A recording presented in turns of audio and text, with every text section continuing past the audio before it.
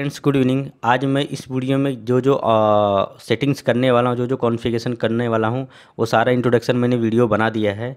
तो पहले हम कनेक्ट करेंगे कंसोल केबल को फायरवॉल से। उसके बाद हम सोफोस फायरवॉल को पुट्टी एप्लीकेशन में ओपन करेंगे।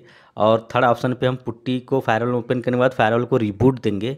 डायरेक्ट पावर से और उसके बाद हम ज़ीरो बटन प्रेस करेंगे और वहाँ पे एस एफ़ लोडर फायरवॉल का ओपन हो जाएगा और उसमें फोर फिफ्थ ऑप्शन में हम ट्रबल सूट ऑप्शन में जाएँगे और वहाँ से हम एडमिन पासवर्ड रीसेट करेंगे। तो इस वीडियो में मैं, ये मेरा पूरा वीडियो का इंट्रोडक्शन है और मैं यही चीज़ आपको वीडियो में करके दिखाने वाला हूँ दोस्तों। तो प्लीज़ मेरे इस यूट्यूब चैनल वीडियो को लाइक करिए कमेंट करिए सब्सक्राइब करिए। कॉम पोर्ट है कॉम पोर्ट पे हम कंसोल केबल कनेक्ट करेंगे और दूसरा जो वीजे का साइज़ है, उसको हम लैपटॉप में कनेक्ट करेंगे, जिससे हम पुट्टी के थ्रू फायरवॉल को एक्सेस करेंगे। फायरवॉल और कंसोल केबल को एक दूसरे से कनेक्ट कर दिया है। अब मैं मैं कंप्यूटर के ऊपर क्लिक करके डिवाइस मैनेजर पे गया। डिवाइस मैनेजर में जाने के बाद दोस्तों, आपको पोर्ट्स पे क्लिक करना, कॉम पोर्ट्स पे। एक ऑप्शन होता है, उसमें आप देखेंगे तो वहाँ पे कॉम पोर्ट्स का ऑप्शन आएगा।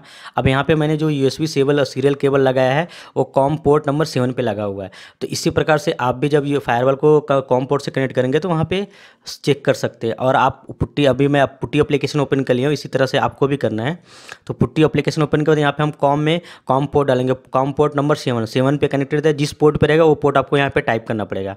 और इसमें दोस्तों स्पीड का बहुत मैटर होता है। अगर स्पीड सही नहीं मैच करेगी तो फायरल कुछ अलग ही लैंग्वेज में दिखेगा। तो यहाँ पे स्पीड जो three eight four double zero है, ये स्पीड मैंडेटरी यही होना चाहिए और इसको हमको कर देना है ओपन ओपन जैसे करेंगे दोस्तों, एक ब्लैक कलर की स्क्रीन हमारे सामने ओपन हो जाएगी।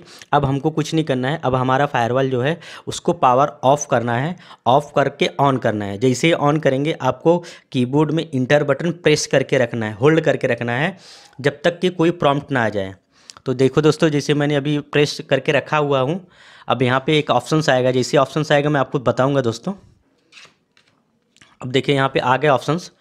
ऐसा फ्लोडर इनेबल हो रहा है दोस्तों। अब यहाँ पे हमको कर देना है ज़ीरो प्रेस अब यहाँ पर हम ज़ीरो जैसे प्रेस करेंगे, ये ऑटोमेटिक ऐसा फ्लोडर ओपन होने लगेगा लोडिंग लेने लगेगा। अब देखिए दोस्तों, यहाँ पे लोड हो ले रहा है तो अभी थोड़ी देर में हमारे सामने ब्लू कलर की स्क्रीन आ जाएगी। यस तो ब्लू कलर की स्क्रीन इसमें फ़र्स्ट ऑप्शन देखो दोस्तों लोड न्यू फॉर्मवेयर है second option troubleshoot troubleshoot third option जो appliance information upgrade and reboot तो हमको करना है ट्रबल सूट पे क्लिक करना है। ट्रबल सूट पे क्लिक करेंगे दोस्तों तो first option reset console password second option जो हमारा आ जाएगा इनेबल सीरियल मॉडल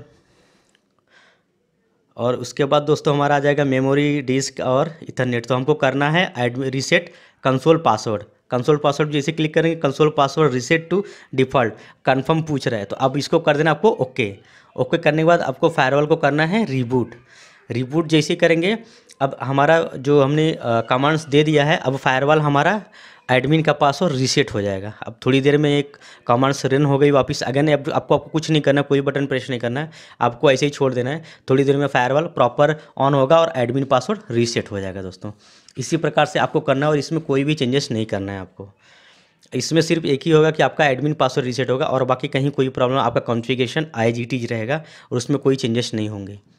तो आप देख सकते हैं, हमारा एडमिन का पासवर्ड रीसेट हो गया दोस्तों। अब मैं अब डिफ़ॉल्ट एडमिन से लॉगिन करूँगा। तो डिफ़ॉल्ट सोफोस का फायरवॉल का admin admin user name admin में होता है पासवर्ड एडमिन होता है। तो अब यहाँ पे मैं एडमिन टाइप करूँगा और लॉगिन के लिए। तो देख सकते हैं दोस्तों कि मैं सक्सेसफुल अपने फायरवॉल में लॉगिन कर चुका हूँ। इसी प्रकार से आपको भी करना है दोस्तों। सो प्लीज़ मेरे इस यूट्यूब चैनल वीडियो को लाइक करिए कमेंट करिए सब्सक्राइब करिए। जय हिंद, जय भारत।